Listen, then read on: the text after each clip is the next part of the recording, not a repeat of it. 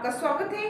मैं प्रिया, आपके साथ। झारखंड का इकलौता मंदिर जहाँ संस्कृत नहीं, मुंडारी भाषा में होता है मंत्रोच्चार।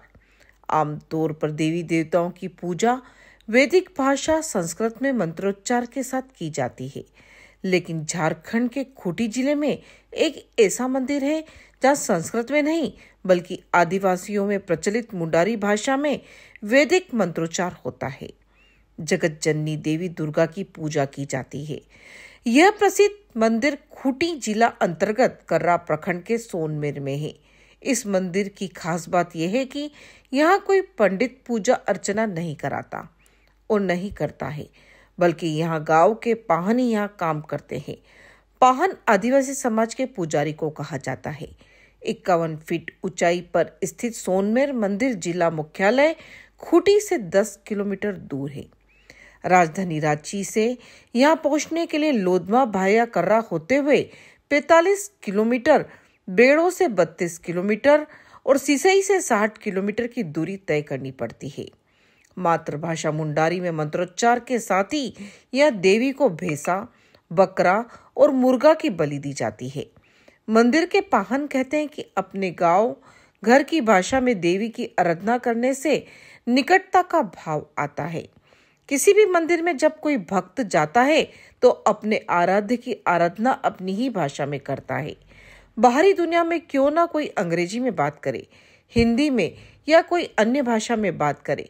लेकिन जब विपत्ति आती है तो सबसे पहले मातृभाषा में ही उसकी कोई प्रतिक्रिया आती है।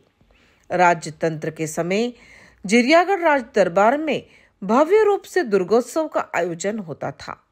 पूजा के दौरान पूरे क्षेत्र से बलि देने के लिए जरियागढ़ राज दरबार में भैंसा पहुँचाया जाता था। सोनमेर मंदिर से भी भैंस पहुँचाया जाता था।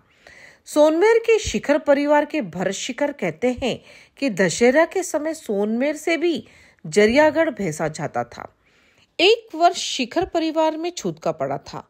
उनके परिवार में एक स्त्री गर्भवती थी। इसके कारण सोनमेर से बलि के लिए भेसा नहीं गया। संयोग से बलि के दिन ही शिखर परिवार में एक बच्चे का जन्म हुआ।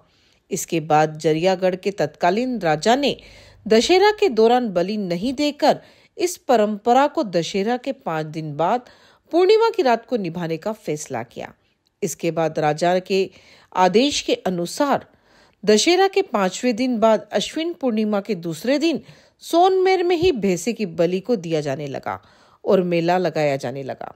ऐतिहासिक सोनमेर मंदिर का इतिहास लगभग 300 वर्ष पुराना है। गाँव के बुज़ुर्ग बताते हैं, सोनमेर माता जो माँ दुर्गा के रूप में है, सबसे पहले गुड़गुड़ गाड़ा में प्रकट हुई थी। कुछ समय बाद गाँव के ही दिवंगत चतुर शिखर के सपने में देवी माँ आई। इसके बाद दिवंगत चतुर शिखर ने गाँव वालों के साथ विचार कर माता को 1917 में बैलगाड़ी से सोनमेर टोंगरी ले जाकर स्थापित किया। इसके बाद सोनमेर टोंगरी में ग्रामीण माता के दर्शन पूजन करने लगे। चतुर शिखर के निधन के बाद उनके वंशज और गाँव के सभी सदस्य मुंडा पहान, धल, बड़ाई आदि समुदाय के लोग मंदिर में व्यवस्था को सुचारू रूप से चलाने के लिए समिति बनाकर पूजा अर्चना करने लगे। कहते हैं कि सच्चे मन से देवी माँ से मांगा गया हर मन्नत पूरी होती है। शुरू में यहाँ झोपड़ी नुमा मंदिर का रूप था। इसके बाद भक्तों ने गाँव वालों की मदद से 1980 में यह देवी का भव्य मंदिर बनवाया। वर्तमान में माँ की ख्याति इतनी विख्यात हो चुकी है कि झारखंड ही नहीं, बल्कि ओडिशा पश्चिम बंगाल, बिहार, छत्तीसगढ़ समेत कई राज्यों से भक्त या माता की पूजा कर अपनी मुराद मांगने पहुँचते हैं। इसी के साथ बने रहिए राजनामा टीवी के साथ। धन्यवाद।